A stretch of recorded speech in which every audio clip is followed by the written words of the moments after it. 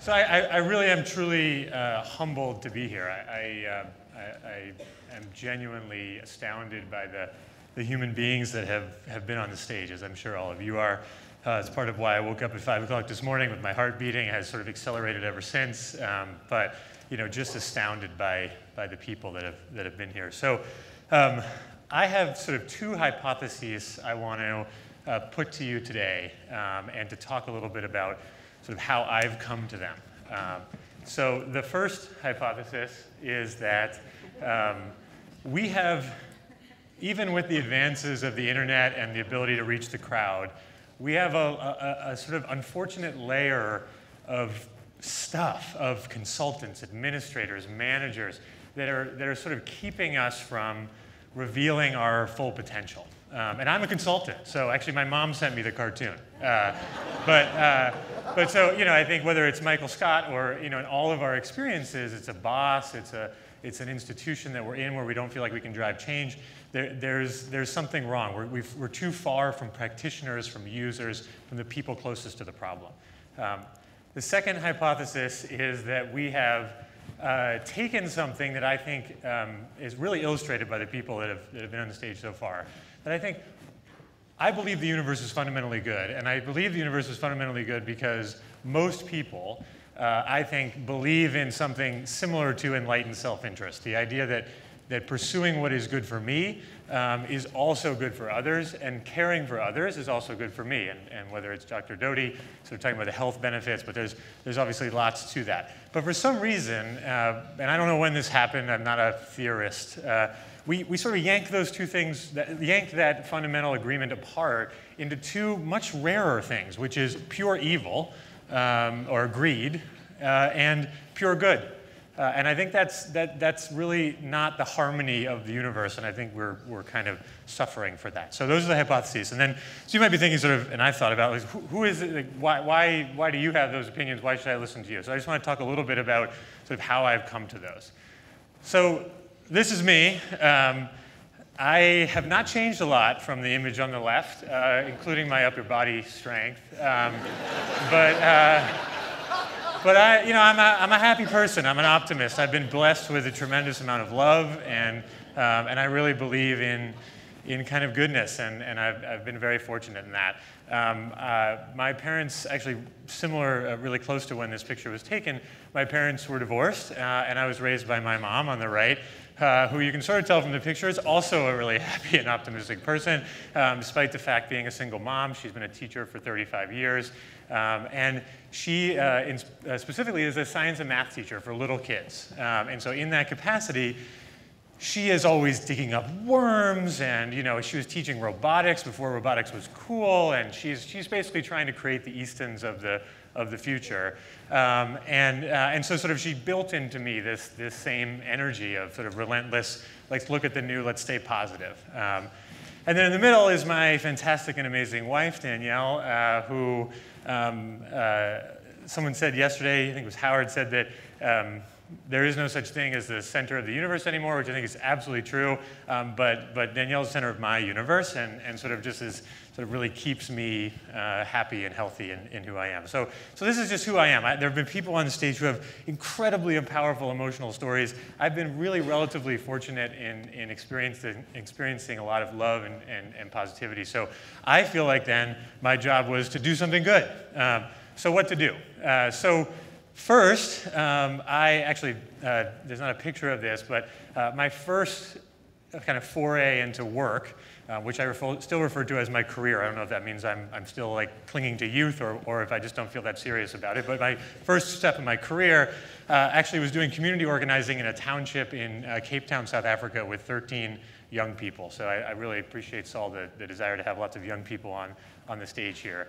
Um, and then I moved to the Rockefeller Brothers Fund. So this is a picture of the of, of, the Rockefeller brothers, the generation younger than John Rockefeller Jr., um, who, you know, this is a family that invented philanthropy. Um, and so I had the incredible privilege of my first job working for Stephen Heintz, an amazing leader in philanthropy, uh, and really learning philanthropy from the people who invented it. Um, and I really have a deep and abiding love for that institution.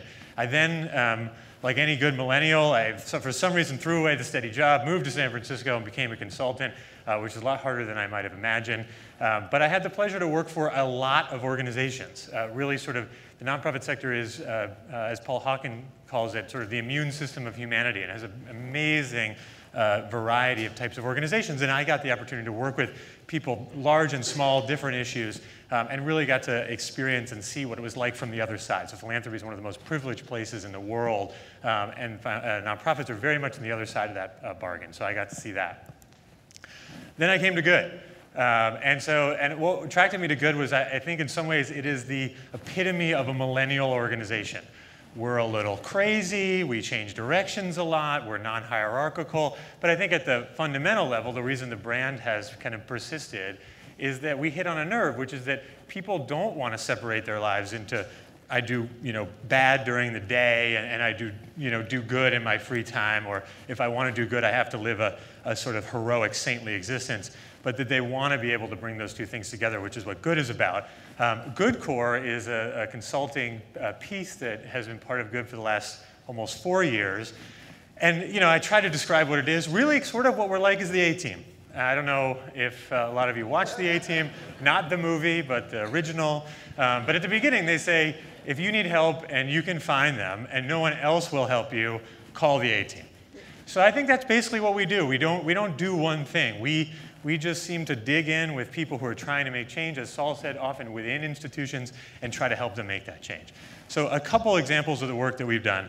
The first was the Pepsi Refresh Project. Uh, Pepsi took $20 million that would have been spent on Super Bowl ads, uh, first time they were not in the Super Bowl in decades, and decided to give that away to people who were trying to make change in their communities.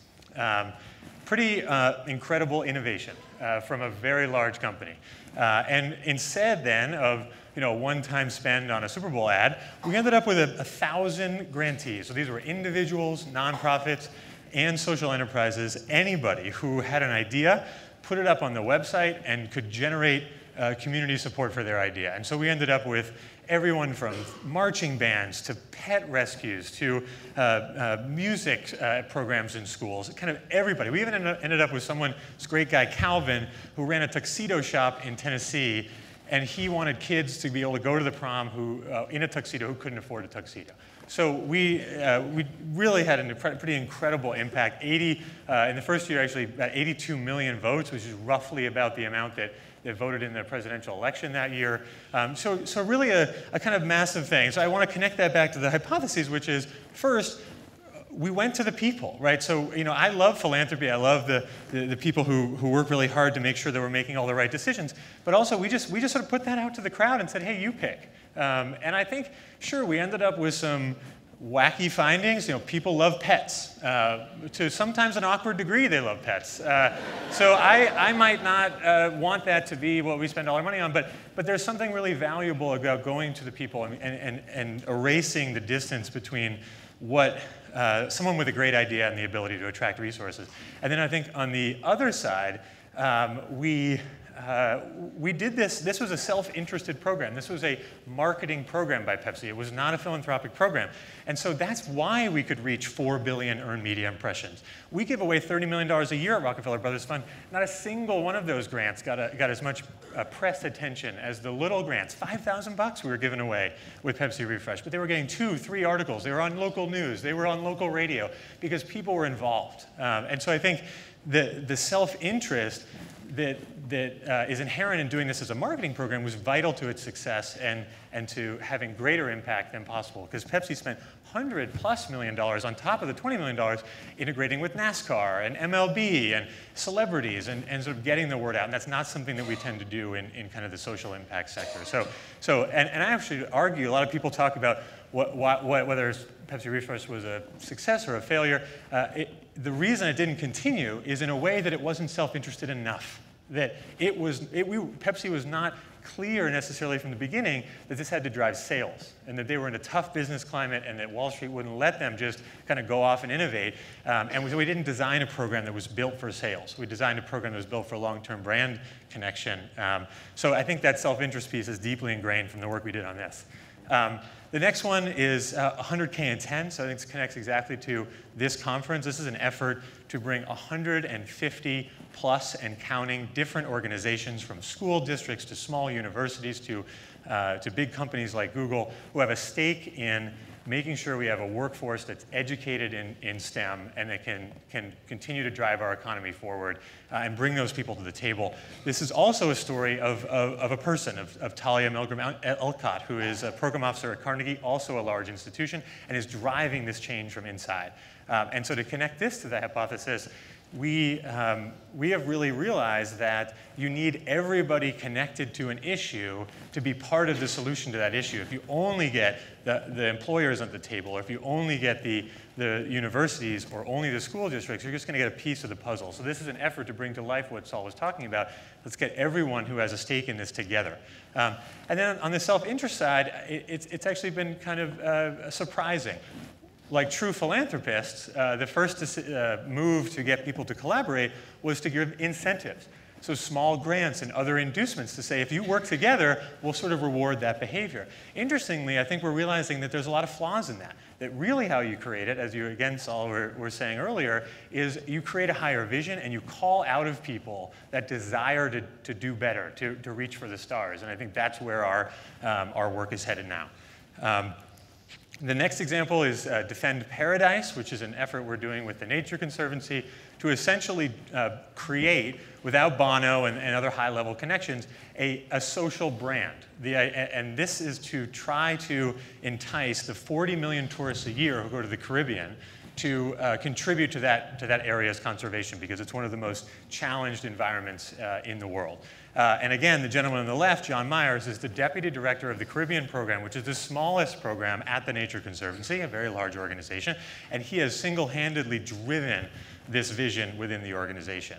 Um, and so, uh, what we've learned here is we can't be afraid of consumers. If we can't get people who visit an area 40 million people who visit an area because of its natural beauty to take a stake in protecting that natural beauty, then we're in real deep trouble as an environmental movement. So we better start by trying to think about even if they're taking a cruise, right? Even if they're not environmental, how do we bring them into this? How do we make it fun? So there's a system of its products, its discounts, its experiences. How do we make this part of the, the kind of tourist experience? And then uh, we've also worked with a number of other companies. I, I think I'm, I'm, sort of running low on time, but at all of these places, people are trying to take steps to do things differently um, and kind of, we, we are never hired by the CEO. We're always hired by lower level folks who see an innovation possible and want to drive that. Um, and we're also learning across all these projects that if there isn't self-interest on the part of the business or on the part of the, of the organization, it's just not sustainable. It won't last. Businesses can't keep writing big checks to unrelated nonprofits. They have to see some sort of return. And I would argue that issues and causes, things that we care about deeply, we're not making change on those in part because we're not engaging large numbers of people. And brands are terrific at that. They're really terrific at that. So we need to find those opportunities to connect. So just to back up again to sort of the themes I started with, I'm not claiming these are new. In some ways, they're the oldest things that exist. Um, if we look at like our ecosystems, right, that we're learning in science, everything is dependent on one another. You can't pull these things apart, whether it's quarks or, or, or ecosystems, it's, they're all deeply and, and uh, intimately connected. So, and in our families, in, in our lives, in our communities, it's the, it's the connections, it's that enlightened self-interest that kind of holds us together. Um, and then also in the, the, the, top right of, of the image there, that's Saul Alinsky. He created, he really innovated community organizing 50, 60 years ago. And at the, at the fundamental middle of that idea is the ability to find self-interest between people and communities and, and pull them together. Um, uh, Alexis de Tocqueville talked about it as self-interest properly understood. Dan Pink uh, who was here last year, talks about it as the, the ability to convince someone to exchange what they have for what I have is fundamental to our, uh, to our success and our survival. Um, so these are not new ideas, but for somehow, somehow we've, we've sort of lost it in the pursuit of social good.